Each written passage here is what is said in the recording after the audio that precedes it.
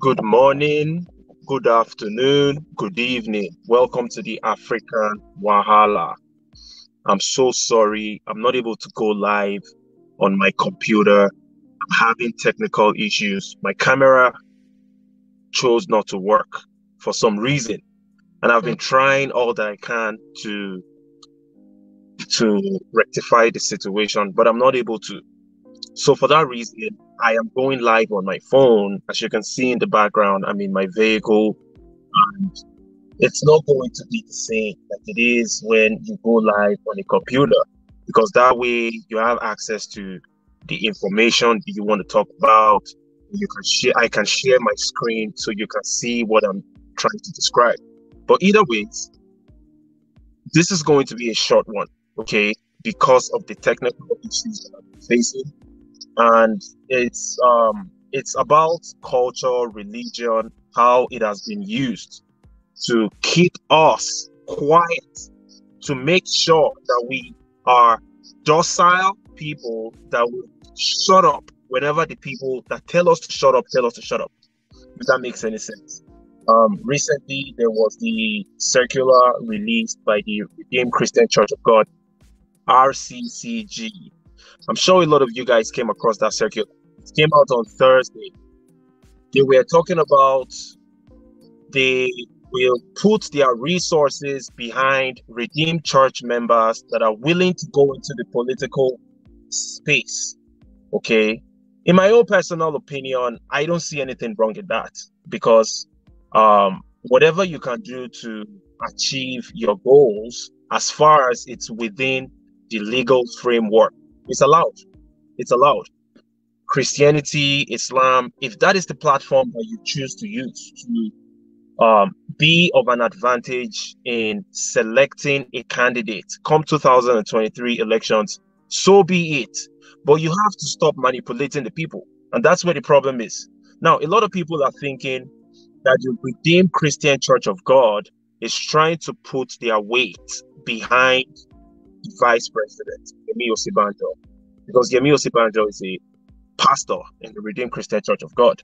So it's reasonable to speculate that Yemi Osinbajo is who the Redeemed Christian Church of God is talking about indirectly. If that's what they choose to do, that all well and good. It's a democratic society. Even though me, in my own personal opinion, I feel like Osinbajo being a complicit to the Buhari's administration's inhumanity, taking away the human rights of Nigerians, killing Nigerians. Okay, the EndSARS protest happened, people were massacred. The mainstream media swept it under the carpet. Buhari obviously doesn't give a damn. The guy was not even speaking to anybody until he came out in the Arise um, Arise News interview, and he so- sounded like a cold-hearted killer. He pretty much threatened everybody and said, you guys need to learn how to shut up. Okay, you guys need to um know when to stop protesting. And when we tell you to stop protesting you have to stop protesting. Because if you don't we are going to use the police and the military to kill you. That's what buhari said. Now when all of that was happening Osinbajo, the vice president okay he was quiet. He said nothing about it. The guy had nothing to say about everything. Plus, if you think about the ways that Osinbajo has collaborated with Buhari in the last seven years, okay, to keep Nigerians subjugated by taking part in the TraderMoni. Um, there was some other scheme that they had to remove 100 million Nigerians from poverty. Osinbajo was one of the chairs. He was one of the people leading those campaigns, giving Nigerians 10,000 naira each to go and um, learn petty trading, to start selling pure water, minerals, biscuits, so that can take them out of poverty. And it made no sense, right? So if that same Osinbajo is who Redeemed Christian Church of God is trying to put their weight behind, it's a problem. But unfortunately, many people are going to fall for that okie dokie, for that trick, because it's a Christianity thing. And this is the same thing that happens in the north. In the northern part of Nigeria, you find their imams, their um, sheikhs in many mosques telling the people that you guys cannot criticize your leaders in public because it goes against our religion. You guys have to vote for this individual because that is who we endorse. We, your religious leaders, we endorse this individual. So you have to go out there and vote for that individual. So these are ways that they use religion to keep us subjugated. And it's our responsibility to reject it because it makes no sense, man. You think about the religion that we've been pursuing for so long, which is important, by the way. And I'm not saying there is anything wrong in it. Whatever religion you choose to be part of, that's all well and good. But if you're allowing that religion to remove your ability to be logical, your ability to think straight as a human being, when a politician that was um, um, appointed as the minister of power, for example, has been incom- incompetent, has not been able to provide electricity for people, and then that same minister comes out and tells you, his fellow religious people, that man, you know, God's time is the best. Let's just hope on God to solve this problem. That is manipulation. And these are the things that we need to start rejecting. Okay. Even though we know that God is the supreme, God's power supersedes everything else. But that doesn't mean that God hasn't given us the brains to fix these problems by ourselves. And we have delegated individuals in politicians, ministers, senators, all these people to spearhead the um fixing of these problems. I was talking about electricity, for example. If these individuals that have been elected or selected to spearhead the fixing of the political problems that we've had, why then are they putting the blame on God? Why are they asking God, oh, let's just wait for God to find, to help us resolve this problem? No, God is not going to do that. It's left to us, the people, to do it for ourselves because God has already given us the brains. Okay, it's a very lazy mentality. It's a way to relinquish yourself of the of your responsibilities, and that's what these guys keep on doing. And that's why we have to keep on rejecting it. Okay, um, like I said, this live stream is going to be short because I've had many technical issues coming on the live stream from my computer. I'm going to go into the um, cultural one thing that we have been raised to understand is that you have to respect your elders, and there is nothing wrong in that. You absolutely have to respect your elders. I respect my elders. I have elders in my in my family, in my community. I respect elderly people. I always give elderly people the benefit of doubt. But if you follow the track record, the history of Nigeria, you can tell that the elderly people that have been in power for so long have done absolutely terribly they've put all of us in a position where we are like second class citizens. That's exactly what we are. Now, those same elders that have put us in those positions will still use their elderly positions to keep us quiet. They'll tell us stuff like, man, you can't disrespect your elders. If you disrespect your elders, or if your elders curse you, it's going to be bad for you. And for that reason, many of us just keep quiet. We're just you know, just waiting for these elders to retire and go play with their grandchildren. Meanwhile, they've committed a lot of crimes. We refuse to hold them accountable. While we are not holding them accountable, we are emboldening the next generation of people to do the same. Because when they do the same, they are not going to be, to be held accountable and they are going to be called elders. Oh, just respect your elders. Respect your elders. Listen, you should respect your elders without a doubt. But if an elder does not deserve to be respected, then you need to stop respecting that person. That's all this conversation is about. We need to stop allowing ourselves to be used as weapons, okay, to be subjugated by religious and cultural. What's the word that I'm looking for now? Situations, okay, religious and cultural dispositions we can't continue allowing ourselves to be used as tools. We are the only ones that suffer from this situation. At the end of the day, the people that goad us emotionally based on religion and culture They are multi-billionaires. Their children are living in decent countries where they have basic amenities, electricity, access to good hospitals, access to good schools, while we that are the victims of the emotional manipulation, we are left with a country that treats us like second class citizens. And these are the things that we're trying to fight against. Okay. So we have to continue mm-hmm. having these types of educational conversations so that people can understand for once that man, it's high time we dropped some of these weird cultural behavioral patterns that we've had for the longest time because it has done nothing but being a detriment to our existence. So I'm going to end this live stream right now because man, I'm having hella technical issues. Hopefully, I will be able to fix it, and I will make it up. I will come back with a with a live stream properly explaining these points once again, especially when I have my notes right in front of me. I had issues with my computer, so I wasn't able to. I wasn't able to. Um, what's it called? To come live on the computer. Ololade is in the building. Oh, man, Ololade, my brother. I'm having problems, bro. I to... Brother. How's it going? Good, man. I'm, I'm so sorry, man. I, I, I have to cut the live stream short because I'm having technical issues on the computer.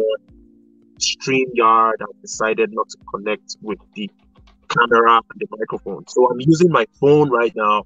As you can see, I'm in my car and it's just not the same. I don't even have access to the information I was going to talk about. But you still you still live, right? Yes, I'm still live. I was about to uh, go off actually just before you came in. Okay. Yeah, I was about to. But or do you want us to continue, bro? Um. Yeah, we can continue. You know. Okay. Even though I don't have my notes, I was talking about the the religious manipulations and the cultural manipulations. How these two tools are used to keep us as a people enslaved by the political, religious, and traditional elite. I know you have a lot to say about that. I can. I will just give you a freestyle. You say whatever you want to say. Well, in the grand scale of things, there's echo. Sorry, let me mute myself. Okay, maybe that will work. All right. So, in the grand scheme of things, generally, you know, our society is a society where people try to oppress other people. And they do this with so many other things, but the two major things that they use is the religious and cultural aspect of things because as human beings we are um, we are the culture that we practice and at the same time we are the religion that we practice so if we if you look at our political elites for example you know most of these guys they have maybe their father their uncle their great great grandfather as being part of the societal elites. So it's passed down to them and they have that position of power now. And having that position of power they they are using it to their own advantage and at the same time oppressing other people right and one of the way to oppress people is to make them to be subservient to whoever is in position of power and when you make people subservient you do whatever you like without them coming out to oppose you. I don't know if what I'm saying makes sense. Because if they can't oppose you, that gives you a kind of like free will to do whatever you want. And looking at Nigerian situation, the only way to make that continue to happen, and the only way the, our leaders continue to have this in a position where they loot, they are not doing anything, they are looting all the money, they are doing whatever they like, is because people are not coming out. And people are not coming out because they don't even know what to come out to say. And the few one that knows what to come out to say, they are easily bought by the elite because you know one of the reward for you to join that class of the elite is by you you know getting the resources. They provide the resources for you. They come out in form of activists at times you know talking against the government but at the at the background there are things going on. You know these same people dine and wine with the politicians that supposedly criticizing on social media.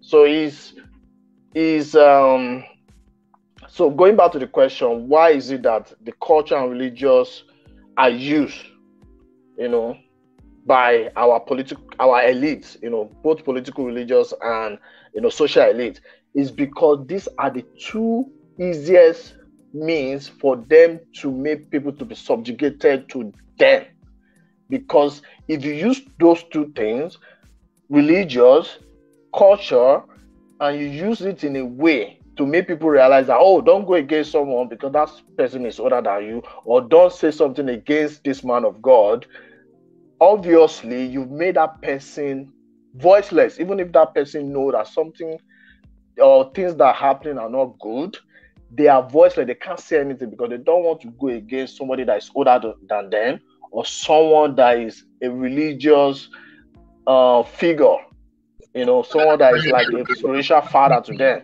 Mm. So as a result, it's a way to cage the people. They've caged us on so many aspects. You know, we are not even talking of economic aspect of things where people are not given economic opportunities. People are not given proper education. People are not giving job opportunities. So economically, you are caged. Culturally, you are caged and religiously you are caged. So the only way out of this cage is for you to, you know, get yourself enlightened and make sure that you know what is wrong from what is right. Nobody is telling anyone not to be religious. We are all we are. I believe, and this is my personal opinion. I believe human being, you know, we are we are spiritual being. You know, that differentiates us from other animals like cow or goats, you know, it differentiates us. We are spiritual being. We have to be spiritual. You have to have a connection to a supreme being out there. But while doing that, do not be blindfolded. Do not be um, mentally caged for you not to use your mind to reason and think about things and and reason things logically don't just follow, follow. Open your eyes, open your ears when someone tell you something and see does this make sense? Even though this person saying this is someone that I'm supposed to respect, but what this person is saying doesn't make any sense. You know, I'm not sure I want to do this thing this person is saying. You know, you can't tell me to continue praying for Nigeria when majority of the problem with the country has to do with our politicians not doing what they're supposed to do. You know, like roads are not being built and people are dying on the road, having accidents on the road. My prayer is not going to build those roads. The government has to build the roads. Exactly. Right? So those are the things, you know, we need to start being logical now than being emotional or just being um, a blind followers. You, get what I mean? So, bro, what would you say to someone that says heaven is the final goal? Because you know that that's the mindset of majority of the people. They feel like heaven is the final goal. I'm just passing through this world. It's a temporary place for me. So, since heaven is the final goal, I have to follow every single doctrine that would get me to heaven. And if that includes throwing out logic, not using my brain just because a man of God has told me this is how it's supposed to go. What would you say? What advice do you have to such individual? Because I have mine. I have my own advice for such individual, but I would like to hear yours. Good. That's a very good point. You know, um, there's it's very difficult for you to convince someone that believes that you know the final goal is something eternal, right? Something beyond this world. I, I'm still hearing that echo. Oh, sorry. So for someone that believe, you know, the final goal is heaven, something not in this world, it's very hard for you to convince them that, oh, you need to think about this world. Because they will tell you, oh, is, this world is just a marketplace. I'm just passing through. My home is heaven. You know, it's true. It's true. You know, I, I can't tell you otherwise. I can't tell you to change your belief about this world. You know, I do believe in heaven myself. But while pass, passing through this marketplace, I have to be able to live in a conducive marketplace. Let me give an example. So we have marketplace in, in this world and we have our homes, right? So our home is our home and we go to marketplace, right? The marketplace, we're not going to sleep over there. We're not going to do, you know, our daily activities in the marketplace unless you are trading in that marketplace. So I go to the marketplace to buy, you know, my food stuff and come back to my house. But at the same time, I don't want to go to a marketplace where people are defecating, people are urinating right in front of where I want to buy my food stuff. I don't want to go to a marketplace where people are cutting other people's head. You know, people are doing all sort of unimaginable thing, right?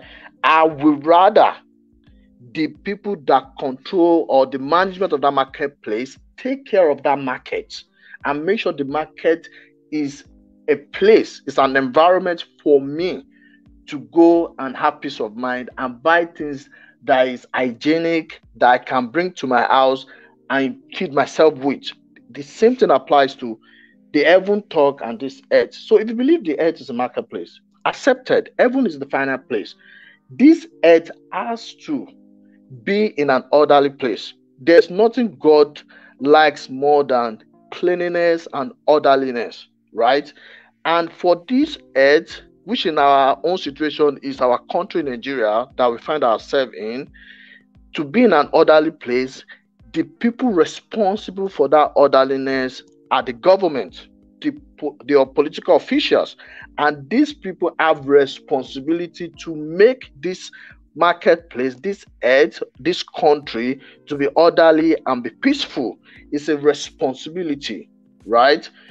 Even though I believe everyone is the final home, I am still obligated to make sure people that are responsible for this uh, for this place that I find myself, for this country that I find myself, people that are, that have the responsibility to make it a conducive environment are they are owned for their responsibility. They are held responsible to make sure they do what they are supposed to do. So that that would be my answer to them. You know, I don't know if that aligns with what you have in mind. Yeah, me, what, what I have in mind is, you know, since a lot of people believe that, which I have no problem with, by the way, you believe that heaven is the is the final destination. I am just passing through this world it's a temporary place for me. When I die, I am going to the real world. The actual world that we are in now is temporary. Don't take it too seriously. And for that reason, this gives a lot of people the ability to be complacent. Now they will believe that since this world is a temporary place, all the injustices, all the crimes, the unfairness, the you know I'm saying, all that stuff that the way that we are treated okay, especially by the political elites. We deserve it because you're not even supposed to enjoy in the world. It's a temporary place. Your final destination is heaven, where you're supposed to be enjoying. So while you're in the world, any suffering that you come across, adjust to it because that's the way the world is supposed to be. But what I have to tell the people is even though I agree with you that heaven is the final goal, it's still your responsibility. Just like you said, bro, God loves orderliness and cleanliness. It's still your responsibility to be as orderly as possible while on earth. And that's why, for that reason, if a religious leader tries to emotionally blackmail you into agreeing to be a second class citizen, you go and do your own research in your Bible or your Quran. Go and read your religious books and see the, the plans of God for man on earth. And I'm pretty sure it's not a plan for suffering because God does not want human beings to suffer here on earth or afterlife. So my own response to such people will be you need to go and actually read your your religious books by yourself and stop allowing other people read it and translate it to you. That's my own response for such people. And as far as culture um, comes to play, I'll give you an example. So I was on Twitter. I'm on Twitter. You guys can follow me, the African Wahala. It's um, at D E W A L E B R on Twitter. Atiku Abubakar posted a, a tweet on Friday. In the tweet, he was talking about he had a meeting with some leaders from the Southwest caucus in the PDP, and oh, the meeting went great. Oh, we are looking forward to a beautiful future. Now, Atiku Abubakar is an old man. We all know that. He was the vice president for eight years. So I responded to the tweet and I said, Mr. Atiku, I would have shared it here, but I don't have my computer, so I can't. I apologize for that. I said, Mr. Atiku, have you relocated back to Nigeria now? Because we know you live in Dubai. You relocated to Dubai after being the vice president for eight years. While you were the vice president, you made billions. So right now you are a billionaire. You even have a university, a private university that the tuition fees is over 2 million naira per year. Now, while you were there for eight years as the vice president, one of the top political elites in the country, the Nigerian educational system experienced a huge regression. It's plundered. So you built your private university for rich Nigerians. Meanwhile, the poor Nigerians have had their universities destroyed even further. Then you ran away to Dubai. Now you're trying to come back to save us from the mess that you were a part of the contributors. And then, me, I'm just asking you a, simple question Have you relocated back to Nigeria or do you still live in Dubai where you have access to good hospitals, 24 hour power supply, good roads? Your life is at minimum risk compared to if you were living in Nigeria. So, have you re- have you re- relocated to Nigeria or you still live in Dubai? Then I started getting re- responses. Atiku obviously will not respond to that. But his fanboys, his not huggers, Atiku Abubakar's ass lickers, they came back and were like, oh, shut up. Can't you respect your elders? Respect your elders. Stop. Even your even your Buhari, because they just started assuming that maybe I'm a Buhari supporter. Even your Buhari is a useless guy. Atiku for president. And you see what the problem is? What I first noticed was how they were quickly using the cultural aspect to keep me short. They were like, Can't you respect your elders? Obviously, I'm not going to be responding to them because there are so many people and it just doesn't make sense. So, this is exactly what we're talking about as far as the cultural manipulations go.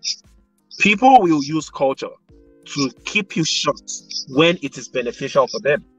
Now it's your responsibility to reject it and to educate other people to do the same. Because the respect that we've been paying to criminals for decades, to criminal politicians, criminal religious leaders, it has only pushed us further into suffering. That's what I have to say. What do you what do you have to say about that?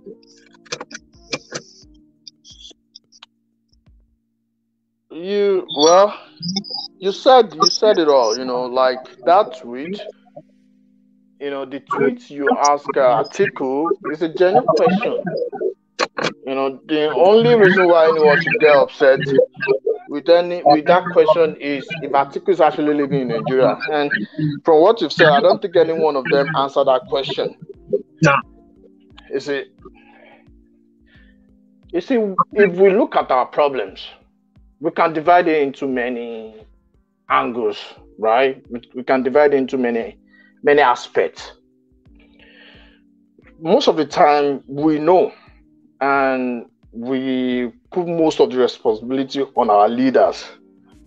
Even though our leaders have a huge blame in the situation in the country, but the we the citizen too, we have you know we have our share, and that tweet and the, the, the reply you got from that tweet kind of explain what I'm what I'm about to say.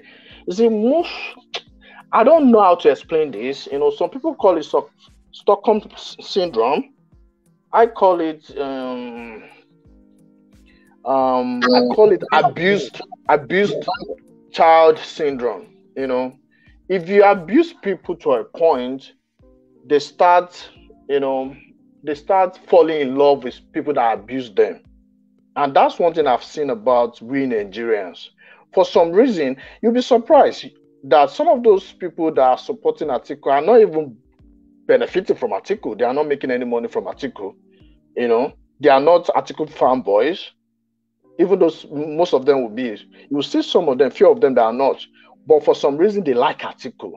And the reason why they like like Atiku is they themselves will like to be in a, in Atiku's position where they will be able to oppress other people. You know, people that are abused, people that are oppressed, if you are not if you are not if you didn't work on your psychological abuse you become the person that abused you. That's simple psychology right?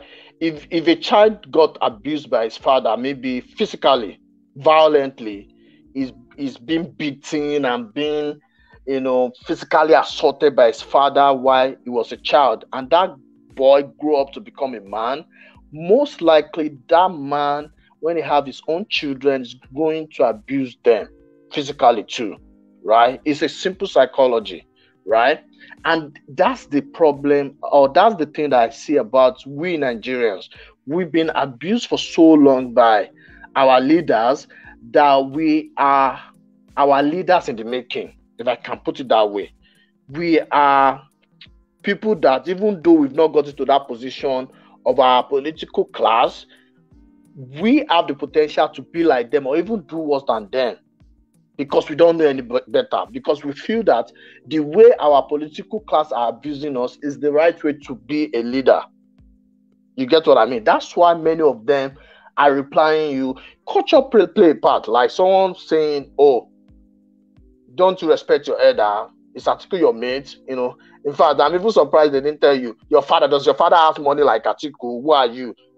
Atiku can feed all your family. You know, those are kind of the response they will give you instead of them being logical and being, you know, mature about their response and saying, okay, Atiku is not. At least someone can reply that, okay, Atiku is not living in Nigeria at the moment, but he's planning on doing so, and I believe that he's gonna do that, right?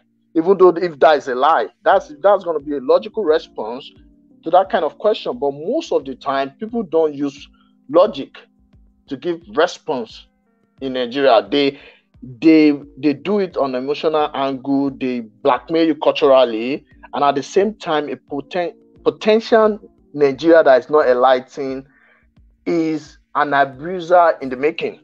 I want you I, I want you to have that at the back of your mind, which is the reason why you know someone that is, is a gate man or someone that is a secretary in an office we try to to use their power on you anytime you are in need of their help.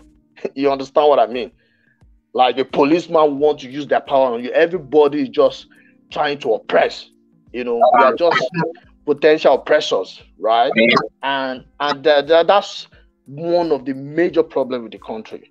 Even even if you take out all these political elites that we have now, the mindset of our people is so skewed that they see oppressing people as the right way to be a leader. I mean, you'll hear people making crazy comments like, you know, we need, we don't deserve democracy. We need iron fists like Sani Abacha, someone that can kill you for going against his wishes someone that will beat you up and throw you in jail. We need like an Idiagbon Buhari era of 1983. where they um ki um operation kai or where they will tell you that man if you refuse to line up at the petrol station you will get thrown in prison but you're going to be beaten up first. That's the mindset of a lot of people. We have become abusers just like you said bro. Majority of the people they are just waiting for their opportunity to become the next abusers. And even if we get rid of all these political criminals the next group of people that will replace them are more than likely going to be oppressors. And that's the huge challenge that we have. And that's why we, we need a, a mental revolution. It's already begun. I don't even need to say we need a mental revolution. It has begun. It has started slowly. It's slowly picking up traction, but slowly using social media, using these um, online platforms to communicate with people, more people would realize their own deficiencies, including ourselves, because we are not perfect ourselves too. So,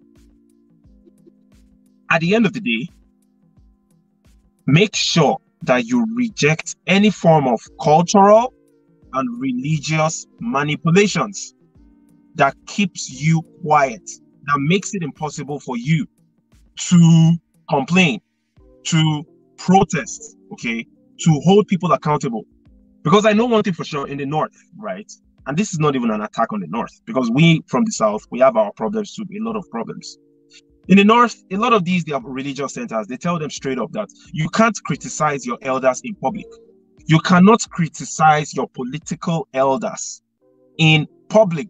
And that's why during that EndSARS, while social media was hot from Nigerians from the south, saying, Oh, Buhari is this, Buhari is that, man, Buhari, man, da, da, da, da, in the north, they were consistently countering these guys on social media, on Facebook. You check out their names. They were all like, no, no, you can't say that. Buhari is a good man. I'm like, what are you talking about? Buhari is a good man. But if you think about it, it's because they are also victims of religious manipulations, whereby in their mosques, they have been told over and over and over that you cannot criticize your political leaders in public. It goes against our religion. And that is manipulation. Because if these people actually go and read their religious books, they would realize that there is nothing wrong in criticizing anybody that is a thief, anybody that is a misfit in public. There is nothing wrong in criticizing those people. Because if you don't criticize them, you will become the next victim or you are a potential victim. Right. So with all of that being said, bro, um, I would like us to round up this this section because I'm having too many issues, man. My lights just turned off.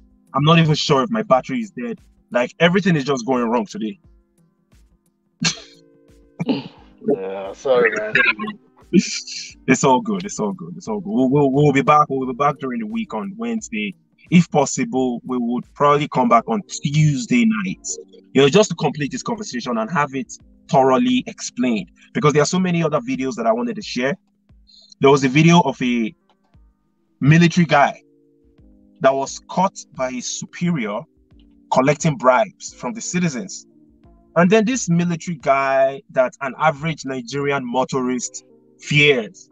You're like, oh, ah, police, make I just give her money, make her make it the carrying while they go. This guy was crying like a baby. This guy that just proves to you that these people are absolutely nothing. The only powers that they have is the weapons that they carry. I'm talking about the police and the military now.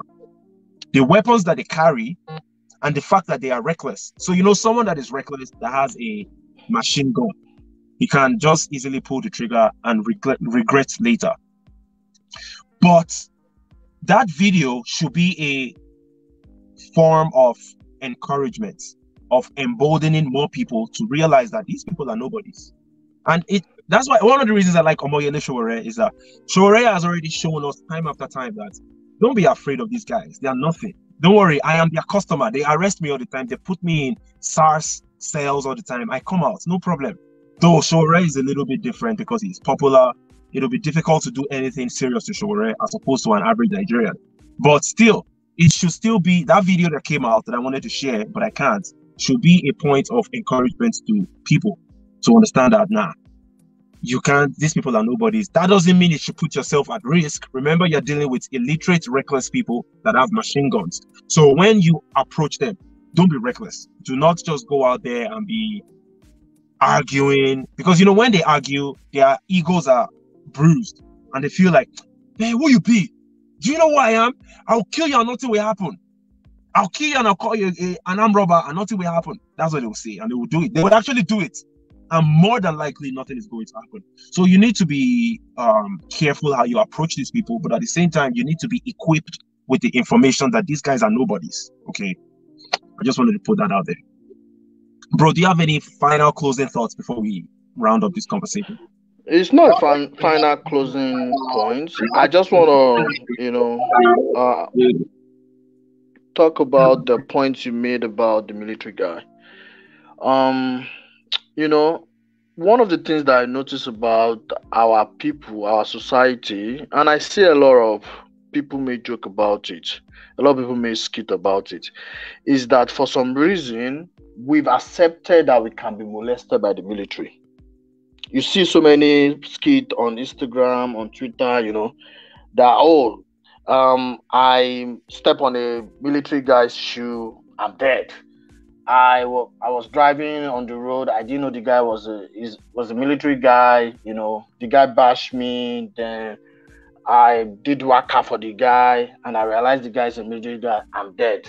I went to toast a lady. I didn't know she's a military.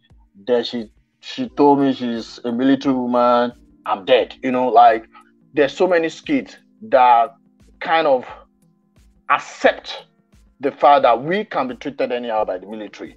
You know, this, you know, there's power in the media, right? What we're doing basically with that is just giving these military guys the power for them to do anyhow. I know it originates from the era when military were ruling the country, which was not which was not supposed to be. Military had no business being in, in politics to start with. They have zero business. If you're a military person, you're a military person, you've decided you want to make sacrifice for the country. And your position as a military guy is no, you are not in any way better than an engineer, for example, or a medical doctor, a pharmacist, or even a laborer, because everybody have their role they play in the society to make the society functional, right? But what I've seen in our movies, in our skit, on the social media is a society that have accepted that the military can treat us and do anyhow they want with us. We've accepted it. You know, like ah, Yusuf, go, why you go, why you go abuse a military guy? Why you go take military man wife? Why you go do this to a military man? You are dead, you know. Like, you know, so many skits. Some of them are funny, but you have to understand the lesson those things are teaching us. The lesson they are teaching us as an individual is accept, be subservient anytime you see a military man. And what is telling the military people is be ruthless when you see the people because these people fear you, right?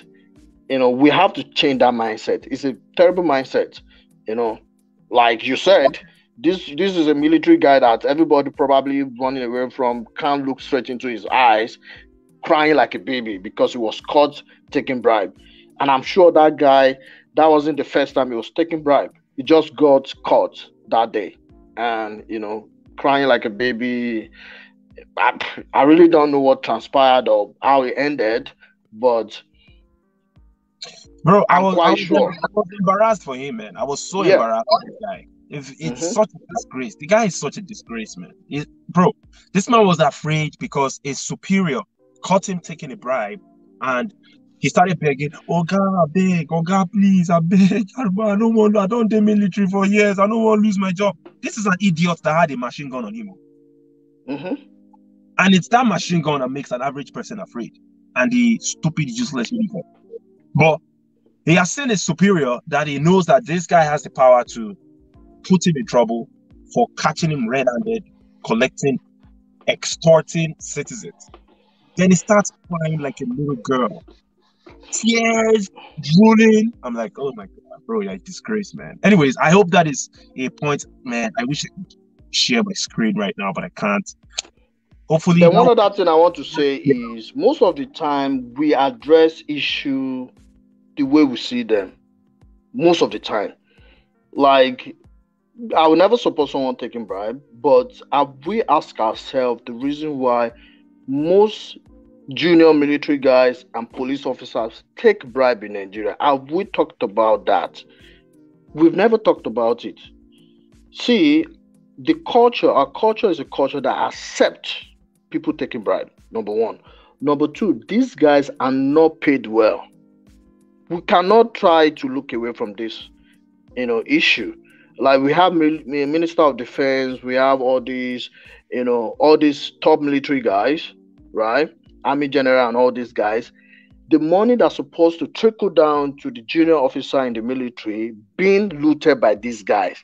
So the action of one person looting and embezzle, embezzling the funds is directly and indirectly affecting every Nigerian's life because this military guy with his AK 47 is the same guy taking bribe from the people.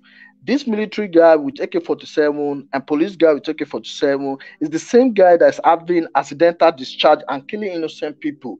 But if you trace the action of this guy, you will realize that the fact that people at the top have looted the funds and I'm not making a proper, you know, enforcement and a proper procedure to ensure that nobody is taking bribe in the country is kind of trickled down to affect everyone living in the country. So one action uh, or the action of one man or few men is affecting the affecting millions of people living in the country. So that's one thing I also draw out from that. You know, the guy get caught, but it's not the only one doing it. There are thousands of other military officers and policemen doing exactly the same thing that that are not even getting caught right now. As we are talking, somebody is taking bribe in the country right now, as we are talking right now. Right? And we've not addressed the issue why that is happening in the country.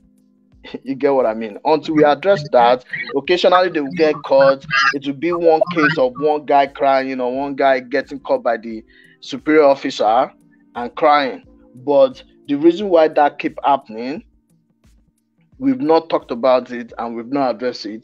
And until we do that, that is always going to happen in the country. All right. Thanks so much, brother. Man, let's call it a day. It, it, it, it wasn't one of the greatest streams, but it was okay. All right. So thank you everybody that came through. Thanks for coming through to the African Wahala Diaspora Radio International. We will be back during the weekday for more conversations to continue enlightening ourselves so that we can become a better society. Thanks for watching. Peace.